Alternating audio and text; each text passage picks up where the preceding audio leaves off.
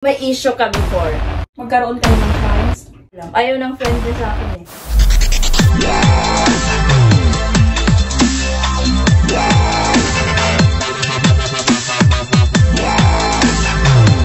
Hi guys! Welcome back again in my vlog.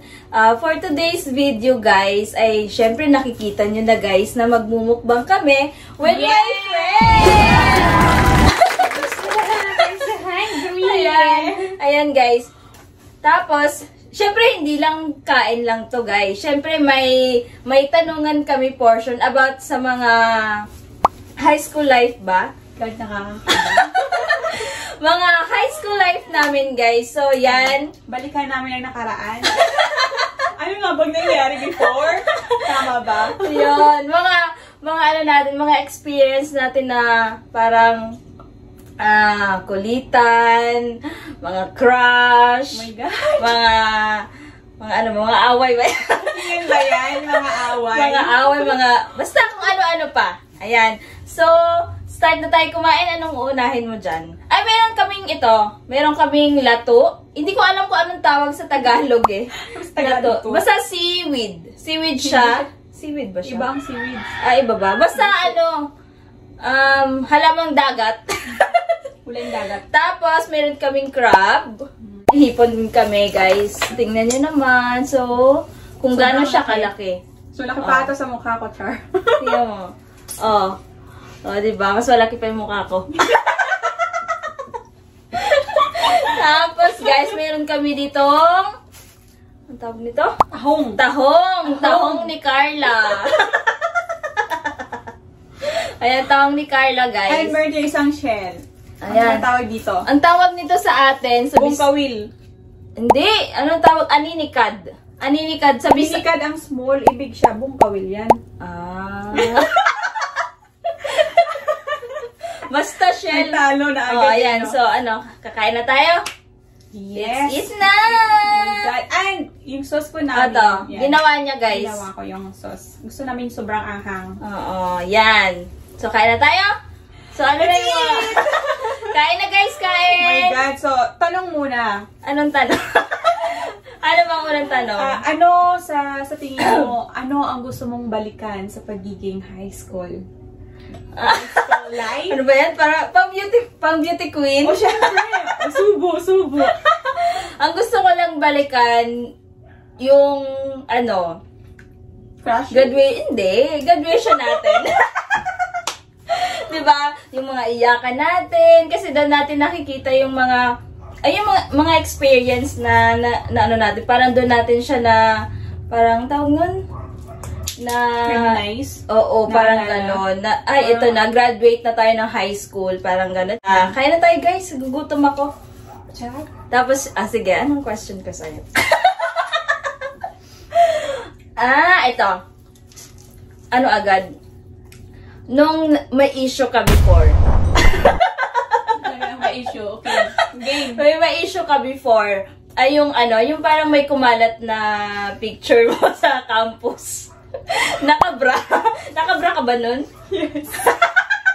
Nakabra siya nun, guys. Tapos, eh, ito kasi, guys, alam- kita nyo naman yung beauty niya, guys, ba? May dalawa kasi kaming sikat sa school namin dati. Siya yung isa, tsaka yung isa din. Talaga ba? Oo. Nakakaya naman. Tapos, syempre, wait lang, ba't ako nag explain Sige, ano ba talagang tanong mo doon? Tapos kasi, ano siya, habulin siya ng mga lalaki, guys, dati. Ah, ang ganda naman ngayon. Tapos, siguro may nagselo sa kanyang babae. Eh, ito kasi yung pangarap niya before, maging, maging sexy star, di ba? Maging sexy star. Gusto ko lang maging sexy. Magkaroon ng sexy na picture. Ay, yun sinabi mo dati. Sabi mo, gusto mo mag, maging Oh, oh, anong sexy tanong mo star. doon? Ang tanong ko, anong ba yung na-feel mo or na na-learn mo doon sa na-experience mo na yon?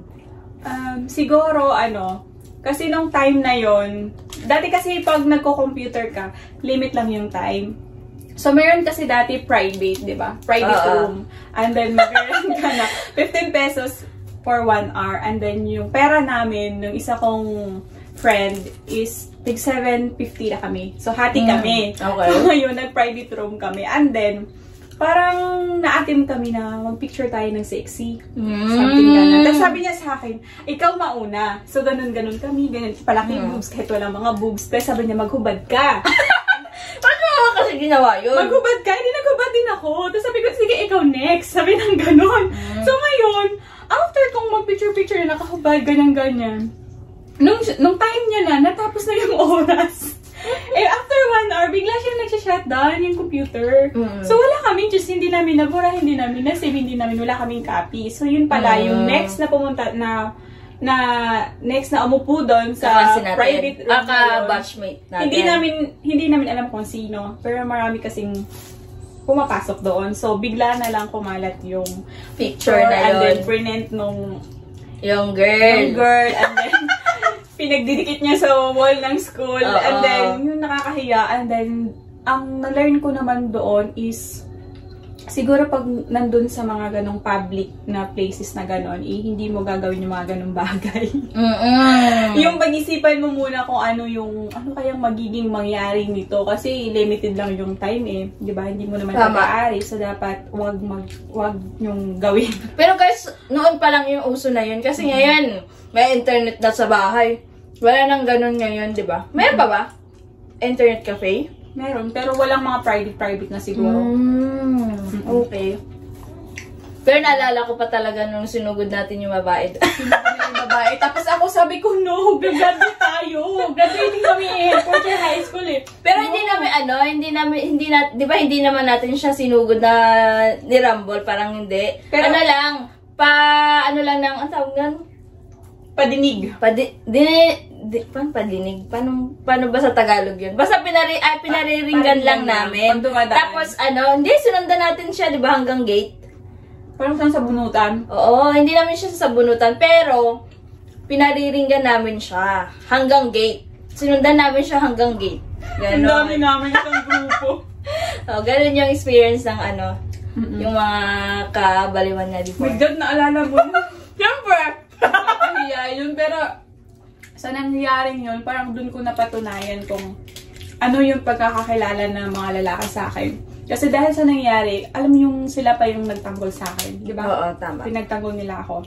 Pero mali yung ginawa. Still, mali yung ginawa ko. okay. Gusto ko lang naman maging sexy. Uy, si Pero, ano? yung, ang pangit ng ginawa ko talaga. Pero gusto niya talaga maging sexo star lalo. Hanggang ngayon din ata, Ah, pwede pa? Pwede pa naman. huli kang humabol. Anong question? Ano pa? Ay, ako, ako na mag-isip ng tanong. O sige. Ah, about crushes. Ano ba yan? Hoy, isa lang yung crush ko. Hoy! Isa na ba yung crush mo? Hmm, isa lang. Sige, ito yung tanong ko. dito. Ito yung tanong ko. Sige. Ano yung nafe-feel mo na ang tagal mo siyang crush eh? Oo. Paano ka Since nag-move on?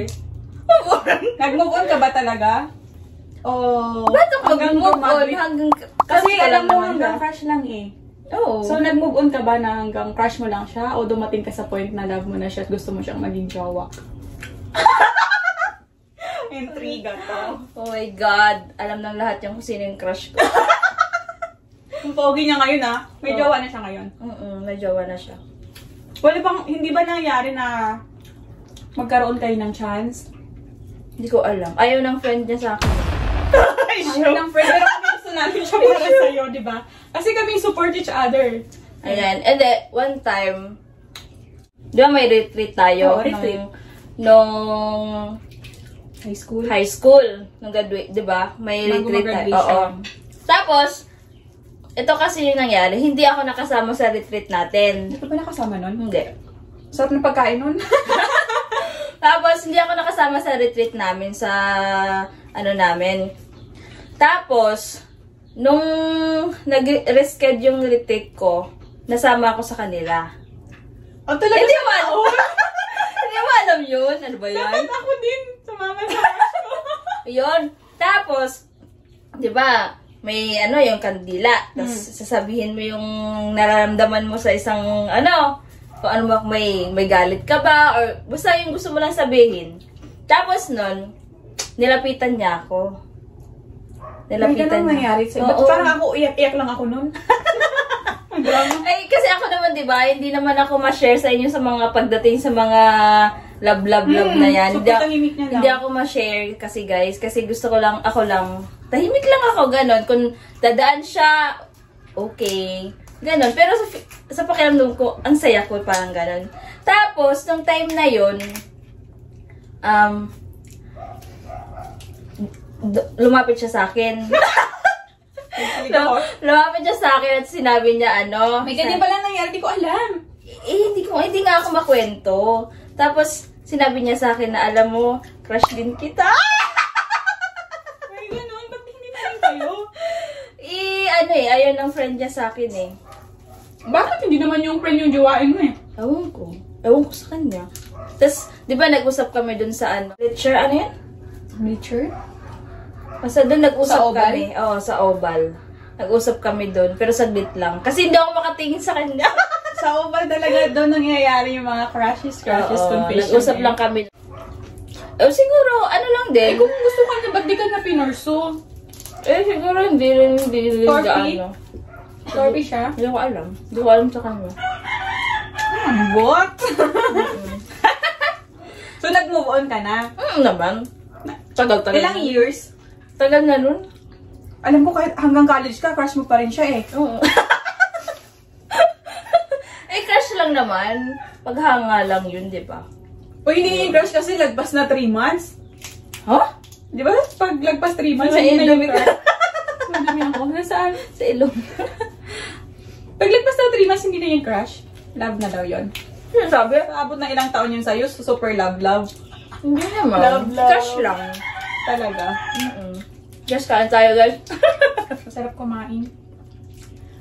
Bukas na ako magda-diet. Ayan. Ako din bukas na. Ulit. Ayan. Tanong ko sa'yo. Ah, sa dami-dami na nanligaw sa'yo noon, di ba ayaw naman sa kanya? Mm, Bakit siya talaga yung, pinipili mo? Kailan yung unang na-inlove ka? After mong nag-move on dun sa crush mo. Pero dumating na sa point na sumugod ka, di ba?